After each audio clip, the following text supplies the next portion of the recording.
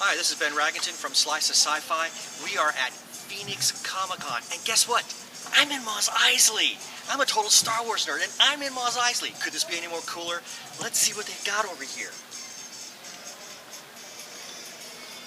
They've got a recruiting area for the 501st Legion. I can only imagine what kind of soldiers they're looking for.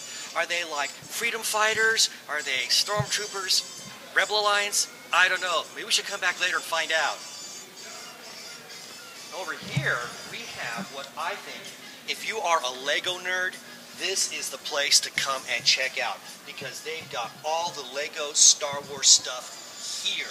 You can see a variety of things and from Jabba's palace to Skeleton 3PO and even Skeleton R2. I never knew that happened. All sorts of different fighters and ships, Yoda even, and one very skimp, a very, very scary looking General Grievous. I wonder if those lightsabers actually turn on.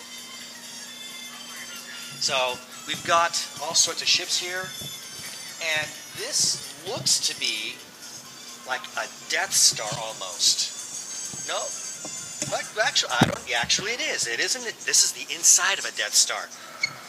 I didn't know it only had four floors. That's new.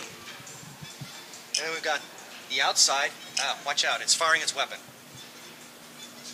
A little Imperial Walker there, and I'm thinking that's supposed to be a Boba Fett. Not entirely sure. He's a little weird looking.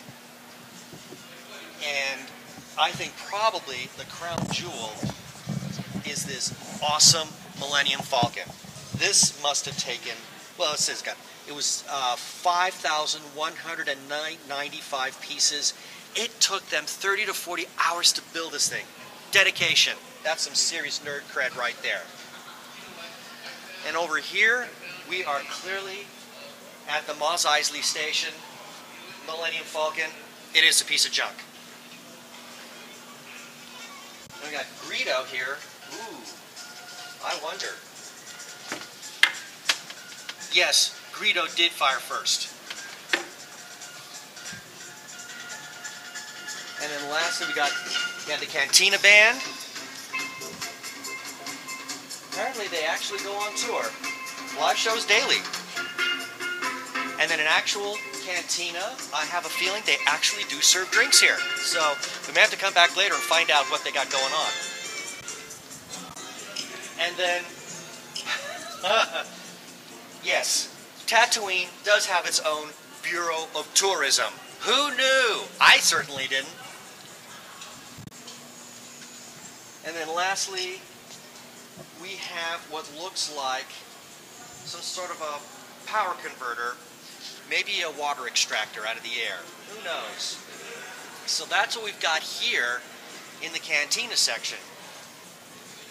And the Mandalorian Mercs have got their costume club over here.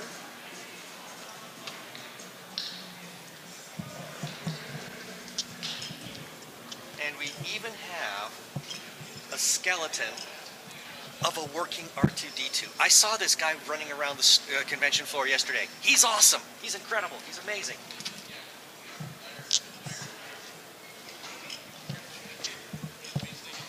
As well as some excellent.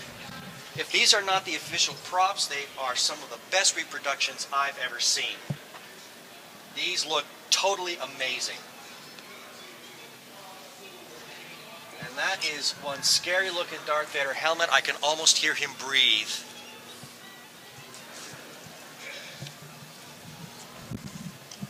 And as we exit the Star Wars area, we come into what I think has got to be the greatest Lego city I have ever seen.